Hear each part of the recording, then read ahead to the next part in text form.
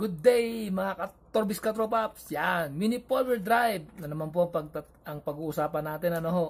Pero bago lahat, shoutout sa mga mahihilig magtamiya dyan, mga four-wheel drive. Okay, mga high-speed tech, mga stock, stock uh, assembly. Yan.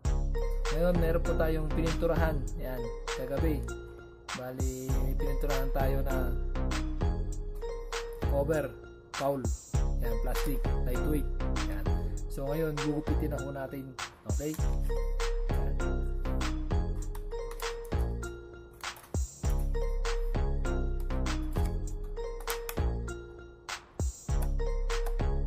Bali mga katams, hindi ko natin gugupitin yung buong buo, no? Bali kasi gagawa pa tayo ng design kung ano, ano, ano talaga itsura nung gagawin natin ito kung saan natin ika, ikakabit ng mga chassis. Depende po kasi sa chassis. Bali, tatabasin lang po natin yung konti yung likuran. Yan. Tatanggalin lang po natin yung paikot para madali natin magupit. Yan. Ganyan. Yan. Yan. Yan, mga katams. Yan na po. Bali, lilinisin lang po natin pagpagupit. Ano ho? Sige ho.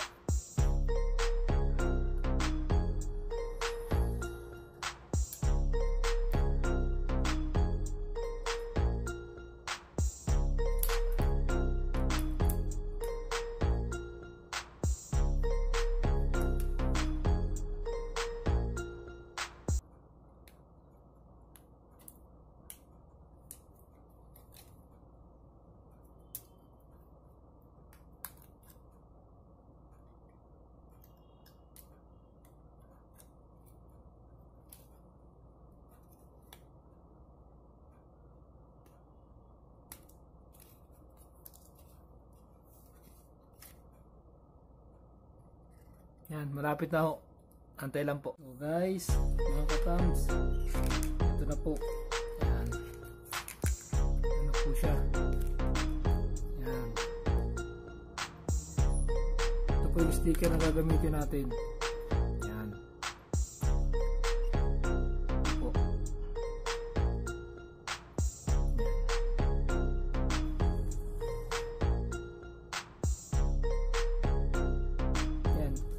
Ito po, water transparent po ito. Babasahin ng tubig tapos ililipat dito. So, okay. Ganito na lang po. Antayin natin yung matapos to. Modified lang po guys. Mga katams, yan. Pininturahan ko yung loob niya. Yan guys. Pininturahan ko yung loob. Spray lang po yung ginamit ko sa loob. Yan. Kaya yung sa labas, ito po naging resulta. Yan. Tignan nyo guys. O, oh, di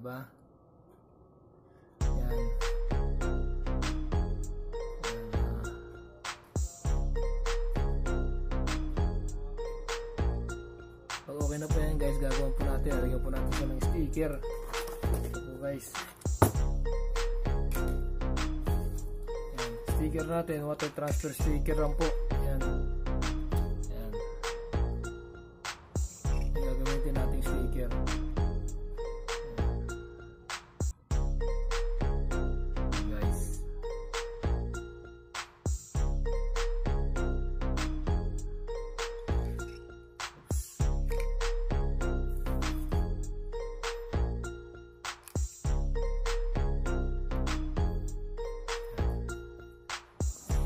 Yes guys, ganito paglagay natin ng uh, sticker sa Tamiya. Bali ito po binababad po sa tubig. Meron po akong tissue rito na may tubig. Yan, kung makikita nyo. Yan. Nakababad po siya. Yan. Yan. Ngayon, ito, madali na po ito. Once na mababad po sa tubig ito, madali na lang po tanggalin. Yan, tulad yan. Oh. Napipill off po siya. Yan. Ngayon, didikit na po natin siya dito sa sa ating kamiya. Papagandahin po natin siya.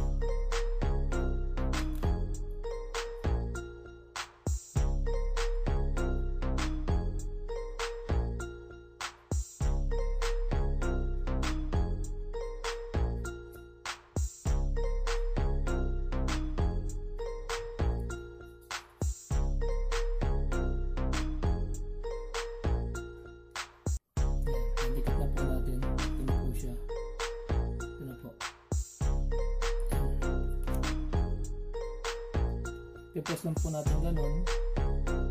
Make sure malinis po yung kamay natin yan. Hindi na po siya natatanggal. Yan. Hindi na po siya natatanggal. Yan na po siya.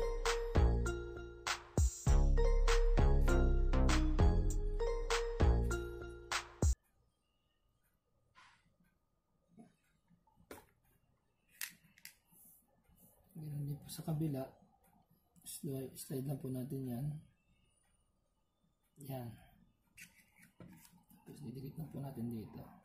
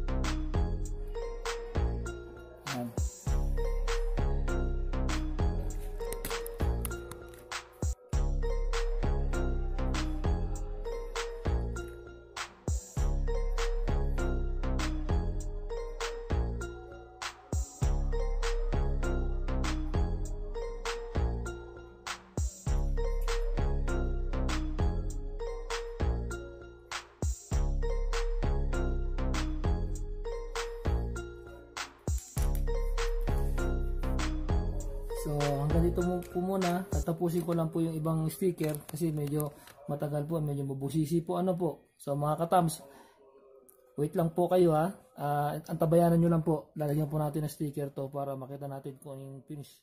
Sige po. Ayan mga katamiya. Yan. Kung titignan nyo po. Yan. Gawa na po siya. Yan. Ang ating cowl. Yan.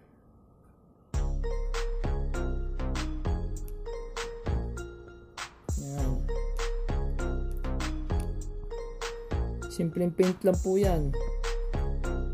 Yan. Pero ma matingkad kasi ang spray po niya sa ilalim.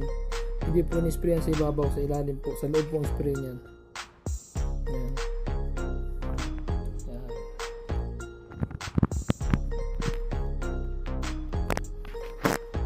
Yung gilid niya mga katams.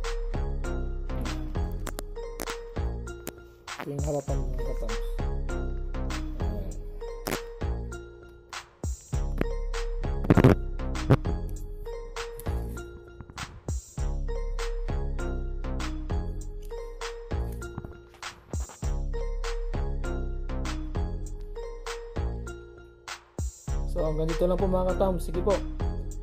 Happy Tamiya Mini 4 wheel drive Torbix Catropaps